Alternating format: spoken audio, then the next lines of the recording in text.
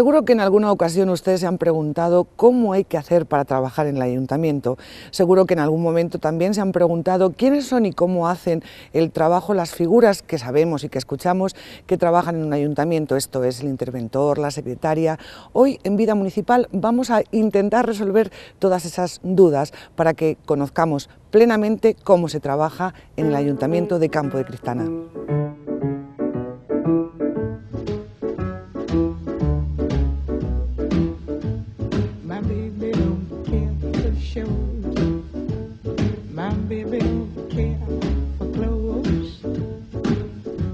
La mejor persona para explicarnos cómo es este organigrama del Ayuntamiento de Campo de Cristana es la concejala de Personal y Hacienda, pero hoy la vamos a tener como personal.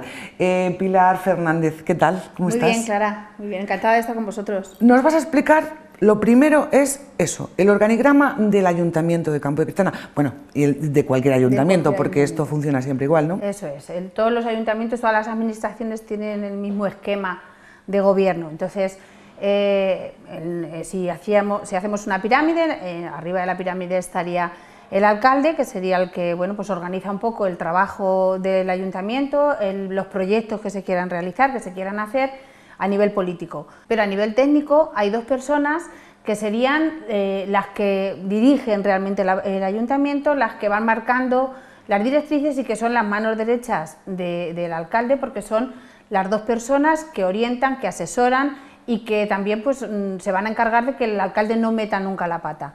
Estas son, eh, aquí en, Campo de Cristana son dos mujeres, que son la interventora y la, y la secretaria. Son dos habilitados nacionales, eso depende del número de habitantes de, que tenga el pueblo. En Campo de Cristana tenemos habilitados nacionales, eso quiere decir que son personas que se presentan a unas oposiciones a nivel nacional, que están como en una bolsa y que los ayuntamientos las demandan cuando se quedan vacantes. Eh, las dos personas que hay aquí en Campo de Cristana, ninguna es de aquí, viven, viven aquí las dos. Y bueno, pues la secretaria, yo mm, me gusta decir que es el corazón del ayuntamiento, el departamento de secretaría, porque cualquier cosa, cualquier asunto, todo pasa por ahí, sea tema de empleo, sea tema de proyectos, sea tema de obras, todo lo tiene que fiscalizar previamente la, la secretaria y informar de que efectivamente pues, se cumple la ley, que, el alcalde lo que quiere hacer eh, está dentro de lo que la ley marca, que nadie se sale de, bueno, pues eso de ahora mismo que estamos en, en un momento en el que la gente parece que hace lo que quiera, pues no, los alcaldes deben estar sujetos a lo que dice la secretaria y la interventora, nosotros tenemos la suerte de que bueno, pues tenemos dos grandes profesionales que orientan al alcalde y le ayudan a cumplir bien con su trabajo quieres decir cuando has dicho que el alcalde no meta la pata porque a lo mejor puede venir con una idea maravillosa y legalmente no es posible. Te refieres a esto, ¿no? Claro, vamos a ver. Los políticos lo que nos gusta es hacer cosas y hacer las cosas muy deprisa y hacer las cosas para que la gente las pueda disfrutar en su pueblo, pues cuanto antes mejor. Pero la ley marca los plazos y bueno, pues la secretaria es la que asesora al alcalde en esos plazos, en esas cuestiones para bueno, pues saber que todo se hace dentro de la ley, que todo se hace conforme el, reglamento orgánico municipal dice y, conforme dice pues la ley a todos los niveles, por ser una administración. Estamos seguros de que hacemos las cosas bien porque tenemos los mejores asesores, que son la secretaria y la interventora. Claro, porque ustedes dicen, eh, ¿y si hay una cosa que no se puede hacer, que una ciudad o un pueblo o un ayuntamiento no puede hacer? ¿Cómo estamos protegidos los ciudadanos de que el alcalde, en esta, no vamos a hablar de el nuestro en concreto, sino un alcalde en general, pueda tener la idea más loca del mundo y llevarla a cabo y después vernos en los tribunales. Es lo que nos está intentando Pilar decir, que hay unas personas que concretamente la, secretaria, la, que marca las directrices legales. Eh, eh, normalmente los, secretarios de los ayuntamientos son abogados que conocen perfectamente la ley, conocen perfectamente el, funcionamiento de la administración pública y son los que deben, evitar, deben evitar que se cometan eh, pues locuras que hemos visto, afortunadamente en nuestro pueblo no, hemos tenido siempre alcaldes con muchísima cabeza, gente muy sensata y muy coherente, que han hecho las cosas muy bien, pero bueno, hemos visto en otros sitios donde los, los alcaldes les han ocurrido cosas que las han llevado a cabo a lo mejor sin pasar por el filtro de, sus técnicos municipales. No es el caso de Campo de Cristiana, aquí tenemos, como decía, la suerte, primero de haber tenido alcaldes sensatos, coherentes y, bueno, pues que han sabido eh, hacer los proyectos para su pueblo, que su pueblo les exigía y les pedía, pero siempre por dentro de, un orden y sabiendo que son proyectos que se pueden llevar a cabo y por supuesto siempre con el visto bueno y el informe favorable tanto de la secretaria como del interventor. Eso nos da mucha tranquilidad también de que las cosas se están haciendo bien. Vamos al interventor. Eh, ¿Qué haría el interventor en este momento? El interventor es el que lleva todo lo referente al dinero, y la secretaria es la que lleva el tema referente a proyectos, como si dijéramos, ¿no? Mm, también la secretaria es el jefe de personal del ayuntamiento. Yo soy concejal de personal, pero el jefe de personal del ayuntamiento es la secretaria del ayuntamiento. Entonces, ¿qué hace eh, la secretaria? Informa según la ley de si las cosas se pueden o no se pueden hacer y busca la forma legal para hacer las cosas. Pero normalmente cualquier proyecto lleva una carga económica aparejada. Con lo cual, una vez que se ve que un proyecto se puede hacer, en los trámites, en las publicaciones y con lo que tenga que ser, eh, tiene que pasar a la fiscalización económica por parte de la interventora, que es la que dice si existe crédito, si ese crédito se puede gastar en ese proyecto concreto, si la ley permite que ese dinero se gaste en esa obra y entonces informa también favorablemente de que ese proyecto es viable económicamente, porque así también te aseguras de que luego los proveedores cobren si tú eh, no haces el filtro de la intervención, haces una gestión saltándote a los técnicos, pues luego lo que puede pasar es que llegue el momento de que la gente tenga que cobrar y no haya partida económica. En Campo de Cristana no pasa porque cualquier proyecto previamente está fiscalizado por la intervención. Pero además mm, el Departamento de Intervención también está para recibir facturas o para eh, fiscalizar, digamos, las facturas de proveedores del ayuntamiento. Toda la gestión económica se lleva desde el Departamento de Intervención. Entonces, un proveedor eh, que ha realizado un proyecto, una obra, un servicio, que previamente ha tenido ese informe favorable de Secretaría y ese informe favorable de, intervención diciendo que hay crédito, una vez que esa obra está terminada, pasa al Departamento de Intervención. Eh, el Departamento de Intervención, el mecanismo que tiene ahora con la firma electrónica, que hace poco que, que se ha implantado en Campo de Cristana, el proveedor trae la factura, se registra de entrada y ya salta en intervención. Intervención que hace lo primero, manda la factura al concejal delegado, todo vía telemática, para que el concejal dé el visto bueno de que efectivamente la obra se ajusta a lo que está hecho, que, corresponde la factura a la obra o al servicio realizado. Una vez que el concejal conforma que se llama eh, la factura, vuelve al departamento de intervención para contabilizarla en esa partida, cada una donde corresponda, y a partir de ahí pasan a, lo que sería la transferencia y el pago. ¿eh? Sería el mecanismo que, tiene una factura desde que, o sea, un proyecto se inicia en secretaría, se fiscaliza en intervención, se ejecuta y una vez que se ha ejecutado, el proveedor trae la factura, primero la conforma el concejal, cada concejal en función del tipo de factura que sea, efectivamente corresponde, el gasto que se ha hecho corresponde con, con la obra ejecutada, con el servicio realizado, desde ahí se contabiliza y de la, contabilidad va al pago. Y una vez que se paga, eh, me saltaría a mí en el ordenador, que soy la, que tiene la firma económica, para proceder al pago de los servicios. Ese sería un poco donde acabaría el círculo. Y ahora también, eh, Pilar, queremos saber eh, cómo trabajan estas figuras en el órgano, como es el Pleno, no es el órgano, sino ese momento tan decisivo en la vida municipal como es el Pleno, donde también tiene que estar la secretaria y la interventora. Claro. ¿Cuáles son las funciones de ellas dos en un pleno? Claro, son mm, las asesoras del alcalde. Eh, el alcalde, eh, un poco, todo el mundo tenemos la figura, el pensamiento de que el alcalde es el que organiza el ayuntamiento. El alcalde organiza proyectos, organiza, pero realmente hay estos dos funcionarios detrás que son los que marcan un poco la pauta eh, administrativa, como si dijésemos, no política, sino administrativa. Cuando hay un pleno, el pleno lo convoca el alcalde a instancias normalmente de la secretaria y de la interventora, que tienen que, bueno, pues asuntos que tiene que dictaminar el pleno, y una vez que se, que se monta el pleno, la gente estará acostumbrada a verlos, eh, al lado del alcalde, a la derecha tiene a la secretaria y a la izquierda tiene a la interventora, que son en todo momento las asesoras del alcalde. Ha habido veces pues, que los grupos políticos hacen mociones o hacen propuestas que no se ajustan a la ley y el alcalde eh, no las puede aceptar por consejo de la interventora y de la secretaria. Hay veces que, se les puede ocurrir a cada uno eh, alguna cosa pues que no se ajusta a la ley, que no entra dentro de las competencias municipales. aunque se ajuste a la ley, sea algo que no corresponde al ayuntamiento y son la secretaria y la interventora las que asesoran continuamente al alcalde para asegurarse de que el alcalde eh, cumple la ley y las cosas se hacen bien en el ayuntamiento. Siempre las ve la gente en el pleno, son las dos que acompañan al alcalde. something he can't see. My baby don't care.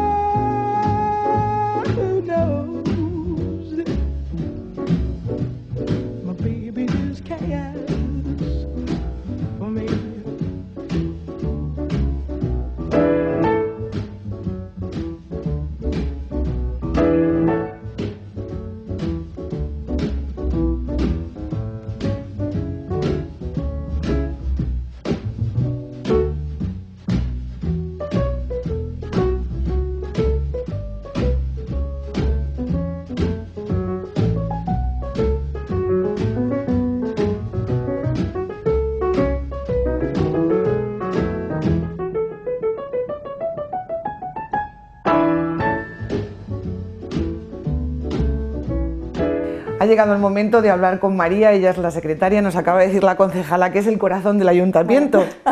¿Es así, María? Yo creo que un poco exagerado. Eh, no eres el corazón del ayuntamiento. Bueno, le pongo mucho corazón al ayuntamiento y al trabajo, pero sobre todo se intenta poner mucha cabeza, ¿eh? mucha cabeza fría y un poco de razonamiento y motivación, porque si no esto un poco se, se, desmadra. Aunque ya hemos escuchado a Pilar contarnos un poquito cuáles son las funciones de la secretaria, es ella, desde luego, la que nos tiene que contar en qué consiste su trabajo. Un poco de todo.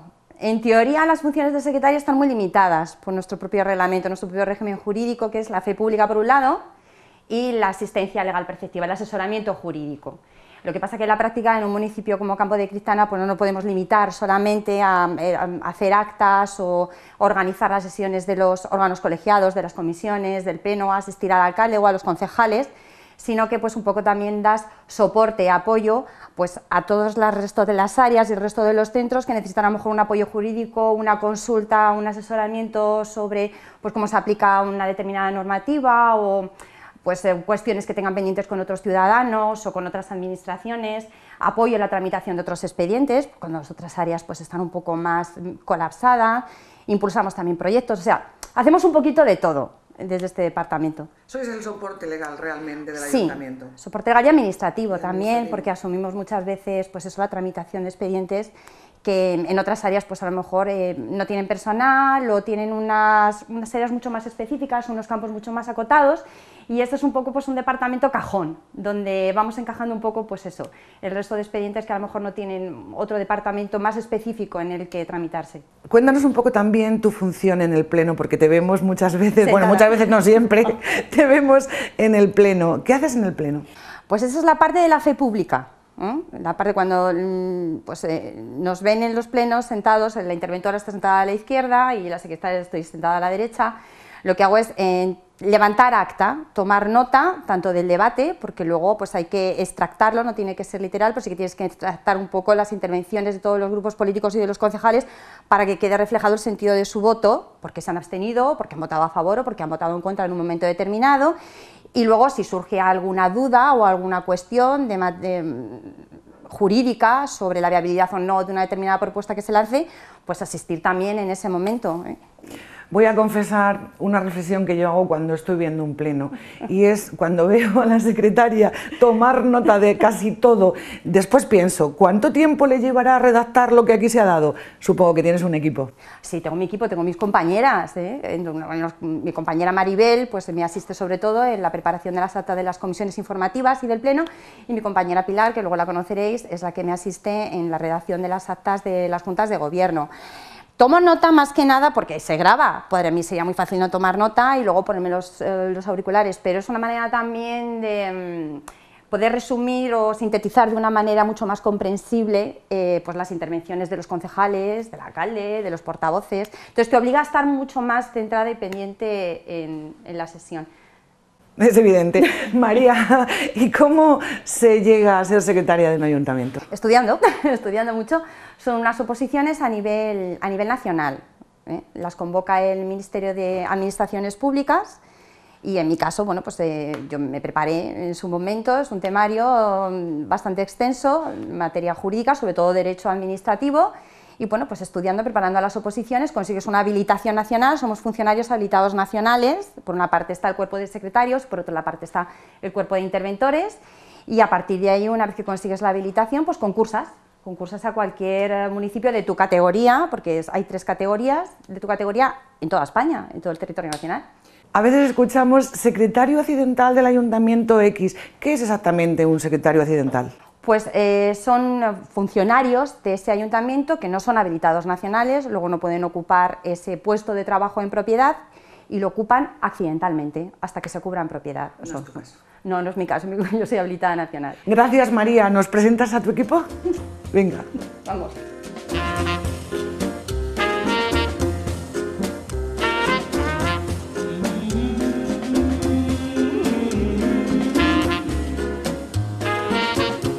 Mi compañera Pilar, Pilar Martín, de La Leona. Eh, como os explicaba antes, cuando te explicaba un poco el tema de la fe pública, la asistencia, la elaboración de las actas, pues Pilar no solo, pero ella, por ejemplo, me asiste en la preparación de las sesiones y en la elaboración de las actas y los acuerdos de las juntas de gobierno, además de otras muchísimas cosas. Como te comentaba antes, es un departamento que da soporte a otros servicios, pues lleva asociaciones, lleva los matrimonios civiles, lleva pues el cementerio, también asiste al compañero del cementerio, la contestación de oficios, edictos de otras administraciones. Pero bueno, eh, puestas desde el punto de vista de los órganos colegiados, ella sobre todo se encarga de lo que son las juntas de gobierno, que son semanales, con lo cual todas las semanas hay que ir montando sesiones, montando acuerdos, notificándolos. Entonces, pues muy precisa, muy necesaria. Y además con mucho trabajo, bueno. Sí, eh, las, dos, las dos tienen mucho trabajo. Y ella es Maribel. Maribel. Ella, al igual que ella se encarga de las juntas de gobierno, ella me ayuda en las comisiones informativas y en los plenos. Los plenos, si bien en teoría son cada dos meses, luego sí que es cierto que muchas veces tenemos plenos extraordinarios que serían cada mes con sus correspondientes comisiones y bueno, pues la preparación es un poco más compleja porque tienes que montar las comisiones, preparar los dictámenes que luego pasan al, al pleno. Me ayuda también sobre todo en la tramitación de las bolsas de empleo, de las contrataciones del personal. Ahora mismo pues con las licitaciones que tenemos en marcha, que tenemos seis expedientes en rueda, pues las dos me están ayudando también, nos los hemos dividido. Los expedientes de responsabilidad patrimonial expedientes sancionadores, bueno, pues un poquito de todo. La verdad también tiene mucho trabajo. Tenéis mucho trabajo en este departamento porque efectivamente ya lo acabas de mencionar, tú también eres la jefa de personal del ayuntamiento. Bueno, más o menos. El jefe mm, es el alcalde, vamos, si tenemos que hablar de jefe, la jefatura superior del personal es del alcalde, pero sí que duda cabe que yo pues le, le asisto y le asesoro en cuanto pues, a los mecanismos para la contratación del personal que es preciso para la prestación de los servicios. María, de verdad, muchísimas gracias. Es un placer porque hayas estado en vida municipal. a vosotros.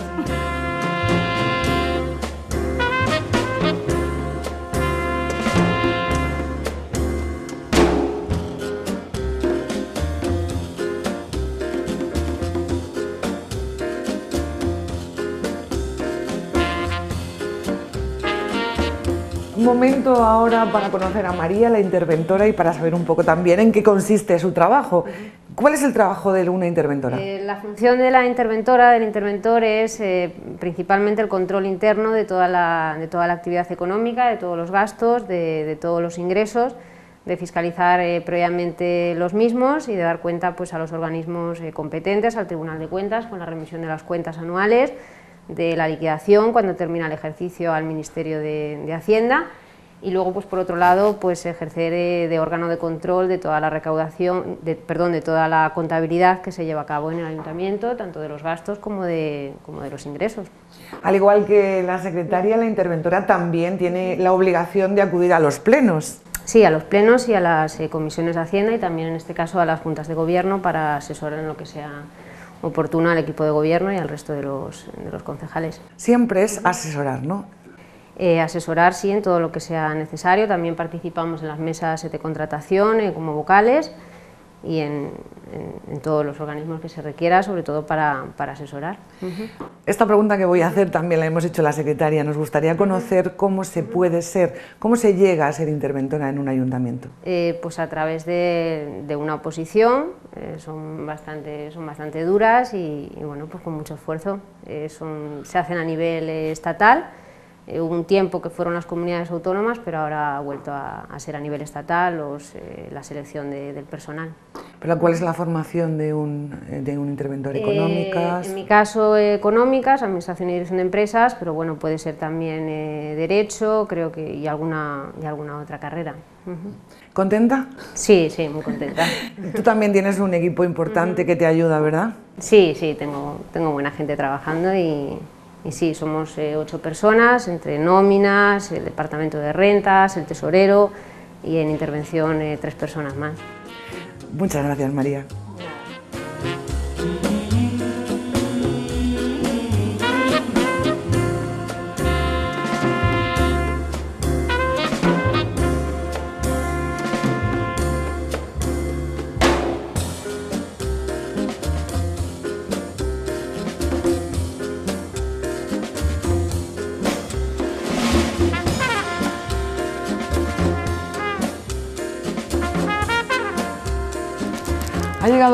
De hablar de empleo. Queremos saber cómo uno, si está interesado, puede trabajar en un ayuntamiento como el de Campo de Cristana. Y nadie mejor que Pilar para contarnos qué puede hacer si alguien está interesado en trabajar en el ayuntamiento de Campo de Cristana. Bueno, en el ayuntamiento se puede optar de dos formas. Una, eh, con el personal fijo del ayuntamiento, que se divide en dos grupos, los funcionarios y los laborales eh, en total tenemos 95 personas que forman la plantilla del personal fijo, pero en total hay 200 personas aproximadamente, un mes con otro, porque no es tampoco la plantilla siempre la misma, que son laborales eventuales. La forma de acceder al, ayuntamiento cuando es eh, como personal fijo, sea funcionario o sea laboral, es siempre a través de una oposición. Hay un principio que es igualdad, mérito y capacidad para acceder al ayuntamiento, bueno, no al ayuntamiento solo, sino a cualquier administración entonces eh, se publica la oferta de empleo pública que previamente se negocia con los sindicatos y bueno, pues se publica y se accede vía oposición, una oposición pura y dura, puede ser oposición solo, pues concurso oposición y ya está, hacen los exámenes y a partir de ahí adquieres la plaza en propiedad. Y luego hay otra forma que es la del laboral eventual. El laboral eventual no tiene eh, la fijeza en, el puesto de trabajo, pero eh, la forma de hacer también es mucho más sencilla eh, por ejemplo, los planes de empleo, que es algo que está en la calle siempre y hay gente que trabaja normalmente seis meses en el ayuntamiento, pues eh, son procesos selectivos que se hacen de acuerdo a un, a un criterio, a una serie de criterios, por ejemplo, en el caso de los planes de empleo normalmente son sociales, también los puestos de trabajo que ocupan son, son poco cualificados, son peones, en el que normalmente lo que, lo que priman son eh, los criterios sociales. No en el caso de los funcionarios y los laborales fijos que te decía, que ahí los criterios siempre suelen ser técnicos, claro, no, no, el criterio social no vale para ser, como hemos visto, secretario de un interventor o, o sea, secretario de un ayuntamiento o interventor o administrativo, tienes que tener un perfil profesional concreto, pero en el caso de los planes de empleo es un personal menos cualificado y entonces se accede con un, un baremo de méritos, un baremo de méritos que ya te digo normalmente suelen ser sociales. Y además son temporales. Sí, es trabajo temporal. En el caso de los planes de empleo son seis meses, hay otros puestos de trabajo que se alargan más en el tiempo porque a lo mejor están ocupando una vacante, entonces hasta que salga eh, esa vacante en propiedad, un, puesto de trabajo en propiedad, pues se cubre con un proceso selectivo más sencillo, no es una oposición, también es un perfil técnico, pero son mm, trabajadores eventuales que antes o después esa plaza sale y una vez que sale eh, salen la oferta de empleo público y entonces es cuando se, entra a trabajar de forma fija. Nos has hablado de sindicatos. ¿Cuál es la función de los sindicatos en esas mesas de negociación eh, cuando se va a convocar una plaza? Eh, como te decía antes, en el ayuntamiento tenemos funcionarios y laborales. Entonces, fundamentalmente, la diferencia es que los funcionarios tienen la capacidad de dar fe pública, como antes comentaba la, la secretaria, y los laborales no. Normalmente los funcionarios son los que trabajan en el ayuntamiento, en el, centro del ayuntamiento, los eh, administrativos, la policía, todos esos son funcionarios y sin embargo luego hay otro cuerpo que son los laborales, que son los jardineros, los albañiles. Eh, entonces, eh, cada uno de, estos cuerpos tiene sus representantes, no tienen el mismo representante los funcionarios que los laborales. Los laborales tienen sus representantes y se rigen por el convenio colectivo y sin embargo los funcionarios tienen el acuerdo marco, que es el que los rige, y, bueno, pues son otro cuerpo diferente. Entonces, en el funcionarios, en el ayuntamiento está presente UGT, está comisiones, está SPL, que es el, el de los, el sindicato de los policías, y CSIC, son eh, eh, los cuatro sindicatos que hay en este ayuntamiento. Entonces ellos eligen a sus representantes y esos representantes se reúnen con la secretaria que hemos visto antes, en la que asesora en temas de empleo, y conmigo como concejal de personal muchas veces al año. Ahora estamos, eh, estamos trabajando sobre la renovación del acuerdo marco. Entonces, bueno, pues en el acuerdo marco, que es al final el documento que rige, pues desde qué hora entran, a qué hora salen, cómo se pagan las horas extraordinarias, qué derechos tienen los trabajadores, pues nos juntamos en esa mesa de negociación de funcionarios y se aprueba el acuerdo marco. Una vez que acabamos, nos juntamos con los laborales. En los laborales tenemos a CSIC, a UGT y comisiones, con representantes de los laborales, que no son los mismos que los funcionarios. Y en, y en esa mesa, que es otra mesa distinta, se negocian los derechos de los laborales. El criterio que tengo yo como concejal de personal, y así me lo, me lo ha transmitido el alcalde y así lo estamos intentando hacer, es que tanto el acuerdo marco como el convenio colectivo sean lo más similares posibles para que los derechos que tengan unos trabajadores y otros, los derechos y las obligaciones, pues sean prácticamente las mismas independientemente del cuerpo al que, al que, del que formen parte. Y luego está la mesa general de negociación, donde están los funcionarios y laborales a la vez, que es donde se ven pues los asuntos que, que un poco les atañen a los, a los dos grupos a la vez. ¿Eh? Y entonces ahí vuelven a estar los mismos sindicatos, pero ahí sí están mezclados funcionarios y laborales. Y el otro gran grupo de personas que trabajan en el Ayuntamiento de Campo de Cristana son los políticos, pero estos ya están fuera de negociaciones y fuera de cualquier convenio. A estos los elegimos nosotros, los ciudadanos, cada cuatro años. Claro. La diferencia entre los políticos y el cuerpo de profesionales del ayuntamiento, sean laborales o sean funcionarios, es que, como tú decías, a los políticos nos, eligen los vecinos, nos tenemos que ganar la confianza de los vecinos para que bueno, pues nos elijan y luego nos reelijan. Y los funcionarios y los laborales son pues, grandes profesionales que tenemos en el ayuntamiento y lo que hacen es ayudar y colaborar y asesorar al alcalde para llegar a, que esos objetivos, esos proyectos, pues al final vean, vean la luz. Tengo que decir que en el Ayuntamiento de Campo de Cristiana tenemos grandes profesionales que se mantienen al margen de las ideas políticas del alcalde de turno, que lo que ayudan es a que esos proyectos y esos objetivos se consigan y bueno, pues eh, actualmente pues, eh, esos profesionales nos están ayudando a llevar pues, el programa que tenía este equipo de gobierno adelante. Pilar, pues muchísimas gracias porque creo que nos has explicado claramente cómo funciona el ayuntamiento, porque estas cosas que parecen tan normales y tan fáciles y de cada día, eh, pues a veces a los ciudadanos nos cuesta entenderlo. Creo que ha sido muy gratificante tenerte en el Vida Municipal de hoy y bueno, ahora llega el momento de que nos tomemos nosotras un café en este estupendo café que hay en la plaza de Campo de Cristana, que es el Diques. Eso es unos grandes profesionales y invito a todo el mundo a que se acerquen por aquí. Gracias. Pilar es accesible, de fácil comunicación.